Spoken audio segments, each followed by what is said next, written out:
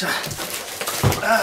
どうも D チャンネルのデベスでございます、えー、先日ですねてか去年末か行われました真冬の YouTuber 祭り2022というものがありまして、まあ、動画のコンテストですね。で、そのコンテストに出場しまして D チャンネル、えー、入賞することができまして、3万円分の Amazon ギフト券をいただくことができました。これも一重に皆さんのおかげです。ありがとうございます。で、そのせっかくいただいた Amazon ギフト券、やっぱりね、D チャンネルとして、えー、使わねばということで、えー、いろいろ考えてですね、Amazon でいろいろ注文しました。それがですね、今回届きましたんで、それらをご紹介していきたいと思います。まずはこちらですかね。D チャンネルとして初のね、えー、撮影機材の補助となるであろうこういったものになりますね。段ボールの中に段ボール。よいしょ。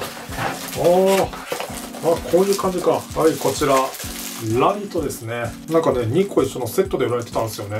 でこれがカラフルなね板もついてるんでこういったの多分ねあのこういうライトとかに当てて、えー、色の具合を変えれるんでしょうね。だからこれがライトに取り付ける三脚ですよね。おおおお伸びる。で三脚に取り付けてあなるほど。これ USB でつくのか。つなげてでこれでスイッチオン。おおついた。あ結構眩しいぞこれ。これをこっち側に置くことによって。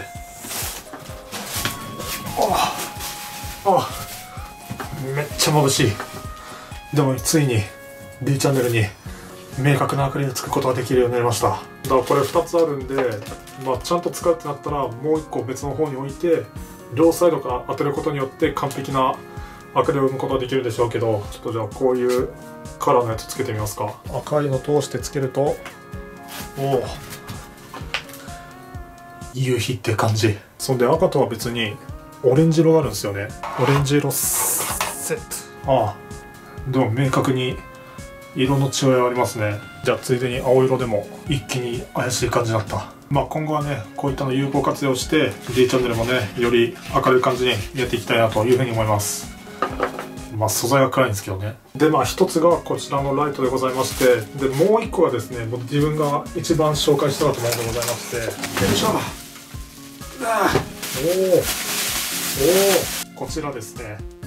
ヌードルメーカーと呼ばれるものでございまして要は製麺機ですね。こっちの向きだと顔クリーな。このね口のところから麺が出てくるっていう。で上のところに、えー、粉を入れるところがあってもう粉とか材料を入れればあとはもうねスイッチを押せば全自動で麺ができるって代物らしいんですよ。D チャンネルねちょくちょくあのラーメン作っていてでその中でコメントでよくね D チャンネル麺も作ってくれよっていうのが多く寄せられましてでもね何度かね手打ち麺調整したことあったんですけどまあうまいことを言ったことはなくてなかなか躊躇してたんですけどもこれがあれば好きな感じの麺が作れるんじゃないかということでこれにプラスして、えー、中華麺作りに欠かせないこちら。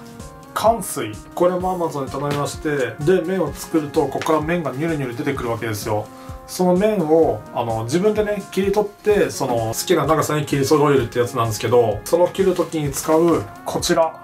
よいしょ。キッチンバサミですね。こちらも Amazon で注文させていただきました。私テベスをキッチンバサミを買うの人生初でございます。というわけですねこれらの機材を使ってですね今後 D チャンネル撮影よりバラエティ豊かな感じにしていきたいというふうに思います。少なくとも近いうちにですねこちらの製麺機使ってみてどういった感じの麺ができるかっていうのをですねお見せしたいというふうに思います。改めまして YouTuber 祭りで投票していただいた皆さん皆さんのおかげでこういったものを購入することができました。誠にありがとうございます。